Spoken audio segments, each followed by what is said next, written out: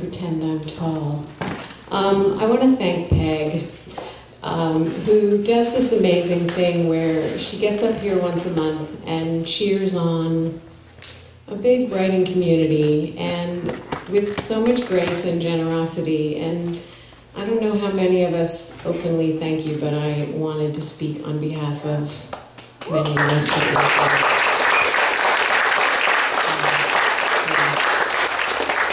You know, I don't know if you know the history of why there are words, but Peg basically showed up in the Bay Area and saw that there was something like this missing and just kind of snapped her fingers, or so it appeared, and made this thing materialize out of thin air, and it immediately became a really thriving, wondrous place, and many of us have benefited from it. So I'm happy to be here.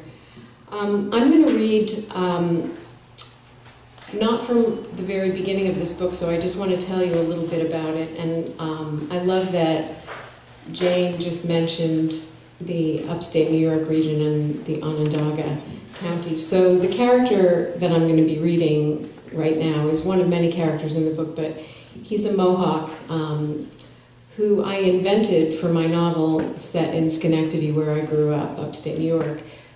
But he's somebody that I wish I had known. And so I, um, I actually gave him some of my own experiences in a way because I really felt like I would have been a member of his tribe had I known how to do that. And so um, this scene actually is a scene that sort of was something that I did in school, but it's what Martin does in high school and it's 1965 when I was only five. um, although Martin Longboat lived with his grandmother across the river, that is, on the side of the river supposedly outside the limits of Electric City, Thanks to the complicated insistence of his father, he attended high school with all of the scientists' kids, the school with an Indian name. It alternately amused and infuriated him that no one there seemed to wonder about the translation, casually using the Iroquois words as if they all assumed the meaning of the language no longer mattered. Land of high corn, land beyond the pine trees. These were the timeless place names given by his forebears, the now invisible ones.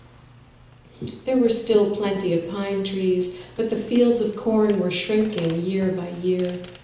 He wondered often if he was the only one who noticed.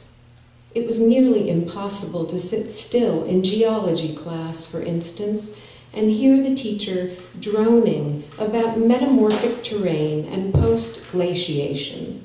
How could they care so much about scratches and chatter marks on shale? Without knowing the histories of this land and of his tribe. Whenever he stayed up late at night listening to his homemade recordings of elders speaking Mohawk, and considered the idea that the Electric City Museum ought to collect such things, he always ended up assuring himself that he was better at safekeeping than any museum could ever be. Even the battered trunk with a broken lock served as a treasure chest when it was draped with one of Annie's handmade quilts. He would have had to teach the basics of listening, and he had no idea how to explain the subtleties of telling stories by beginning with you instead of I. On his high school English papers, that same you was repeatedly crossed out with red marks, replaced in the teacher's handwriting with her strangely detached one. It would take more patience than he possessed to explain that in his own tongue there was a we that meant you and I, while another word for we meant he or she and I, but not you. The language of including and excluding could be simple, but not easy. Why share this legacy with people who owned too much already? And yet seemed oblivious to the value of preserving what they claimed not the land, not the river, not even the houses they built or the machines they made. The letters in the sky and the kitchen appliances and the things that came after.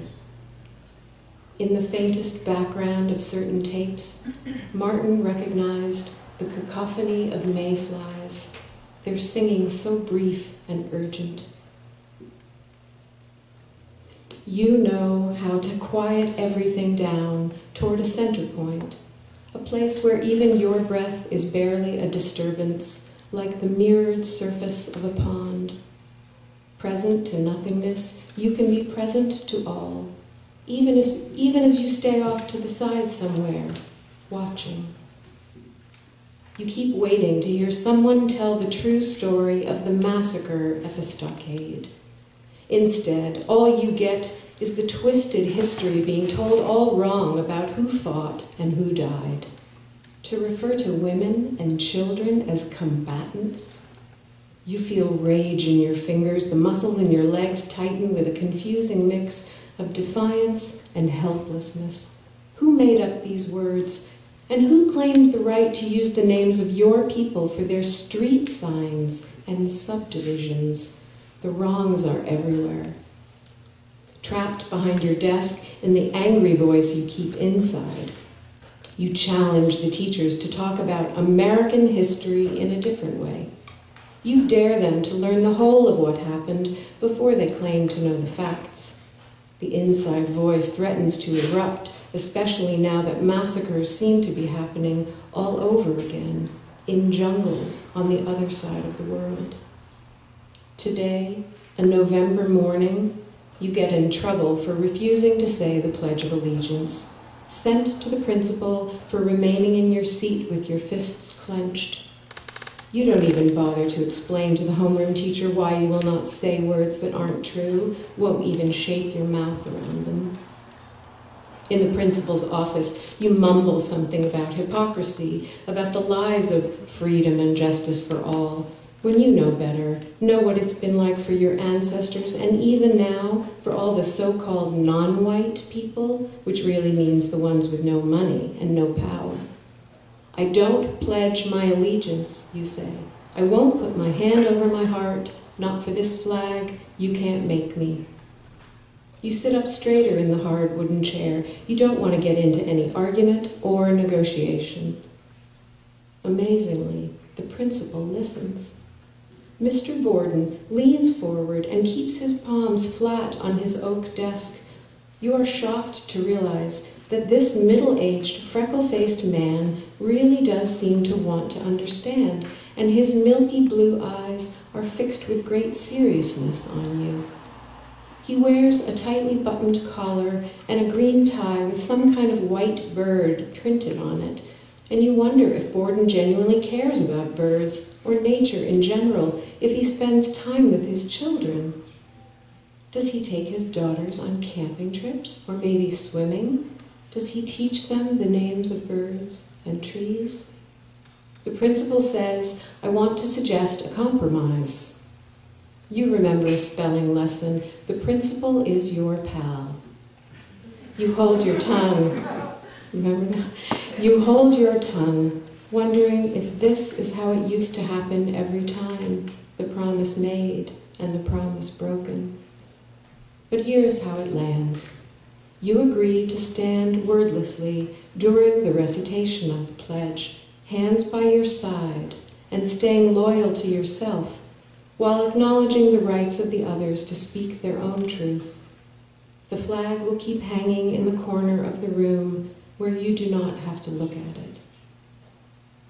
On the way home from school, you find out that on the very same day of your own small resistance, a young man planted himself in front of the United Nations building in New York City and set his own body on fire. He is burned beyond saving. The blackout that follows doesn't seem anywhere near as shocking as this piece of news, carried on radio waves into the very hollow of your chest, exploding. Thank you.